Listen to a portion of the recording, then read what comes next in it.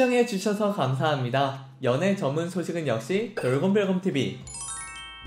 안녕하세요. 돌곰별곰TV입니다. 이번 시간은 방탄소년단 지민에 대한 소식을 전해드리겠습니다. 첫 번째 소식입니다. 지민이 눈부신 미모와 따스한 분위기로 오늘 10일 공개가 되는 BTS 유튜브 Released 방송에 대한 기대감을 한층 고조시키고 있습니다. 지난 9일 새벽 유튜브는 방탄소년단이 출연하는 유튜브 오리지널 뮤직쇼 Released 예고와 멤버별 사진을 공개했는데요. 앞머리에 웨이브를 넣은 짙은 블랙 헤어에 하얗고 매끈한 피부의 지민은 볼콕 V포즈 사진으로 한층 더 어려진 동안 외모와 귀여움으로 팬들을 단번에 사로잡았습니다. 브라운, 아이보리, 블루, 옐로우, 스카이블루가 믹스된 스트라이프 니트를 착용해 무르익어가고 있는 가을과 어울리는 패션으로 포근하고 따스한 분위기를 연출했는데요. 특히 라운드 네크라인의 니트는 지민의 길고 아름다운 목선을 그대로 드러내 더욱 부각시켰으며 무쌍의 길고 큰 눈이 조화를 이루어 청초한 매력까지 사진 한 장에 담긴 다양한 매력 포인트로 팬들 팬들을 설레게 했습니다. 이에 빨리 내일이 왔으면 이제부터 니트 지민도 고유명사하자 물광 피부는 이런 것 매일 더 어려지는 지민 오빠 등 자정이 넘은 시간에 공개가 되었음에도 팬들의 열렬한 호응으로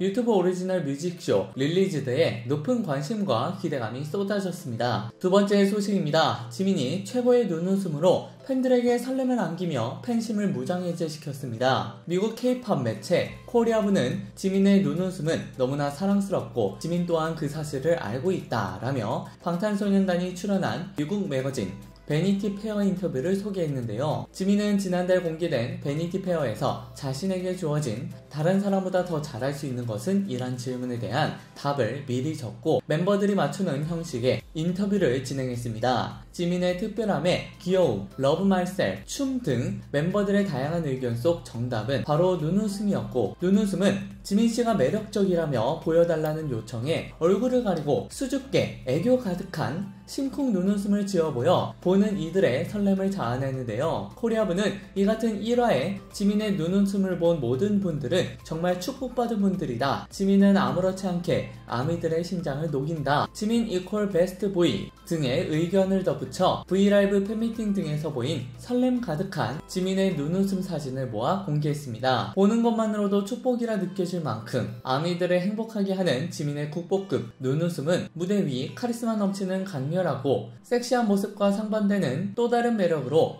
그 차이가 신급이라는 뜻의 갭차이신이라는 신조어까지 탄생시켰는데요. 더불어 글로벌 케이팝 인기 투표 웹사이트 케이팝 Vote와 국내 아이돌 차트 등에서 진행된 눈웃음이 매력적인 아이돌 설문조사에서 이미 수차례 1위를 차지해 눈웃음 하면 떠오르는 대표 케이팝 아티스트로 손꼽히며 전 세계 팬들의 마음을 사로잡고 있습니다. 세 번째 소식입니다. 지민의 솔로곡 필터가 중동 최대 음원 플랫폼 Anghami에서 100만 스트리밍을 돌파했습니다. 지난 7일 필터 의 100만 스트리밍 달성으로 방탄 방탄소년단 정규 4집 Map of the Soul 7의 모든 수록곡과 솔로곡 가운데 최초 100만 스트리밍을 기록하게 됐는데요. 이는 앨범의 타이틀이었던 ON보다 빠른 기록으로 선공개되었던 또 다른 타이틀곡 Black Swan을 제외한 앨범의 모든 곡 중 가장 많은 스트리밍으로 중동에서 필터의 뜨거운 인기를 확인할 수 있습니다. 또한 필터는 Anghami에서 4만 개 이상의 좋아요를 받으며 4집 앨범 수록곡 중 가장 많은 좋아요를 획득했는데요. 뿐만 아니라 솔로곡 Serendipity intro는 130만 이상 스트리밍으로 Anghami에서 100만 스트리밍을 넘는 두 곡의 솔로곡을 보유한 최초이자 유일한 한국 가수라 사람들의 감탄을 자아내고 있습니다. 100만 스트리밍을 넘는 필터와 Serendipity intro를 포함해 Serendipity full full length는 75만, Lie는 88만 스트리밍으로 지민의 솔로곡들이 Anghami에서 한국 솔로 가수 최초로 4곡 모두 75만 스트리밍을 달성한 기록까지 세웠는데요. 지민은 세계적으로도 진입 장벽이 높기로 유명한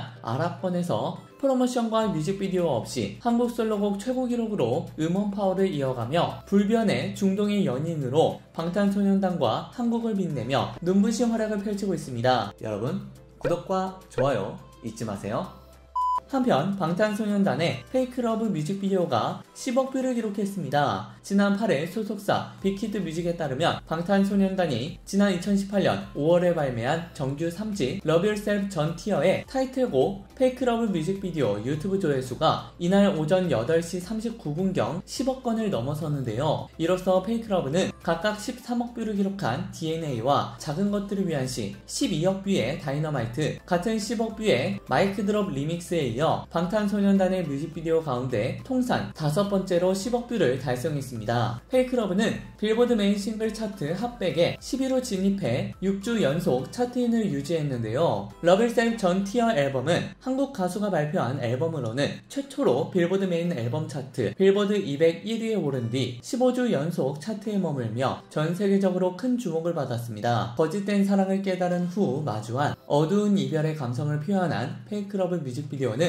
화려한 세트를 오가며 펼쳐지는 일곱 멤버의 강렬한 퍼포먼스에 감각적이고 세련된 영상미가 더해졌습니다. 화제가 되었던 방탄소년단 지민에 대한 소식을 전해드렸습니다. 여러분께서 응원하시는 지민에 대한 소식은 앞으로도 계속 이어질 예정입니다. 여러분들의 좋아요와 구독은 큰 힘이 됩니다. 열심히 노력하겠습니다. 지금까지 돌곰배검TV였습니다. 감사합니다.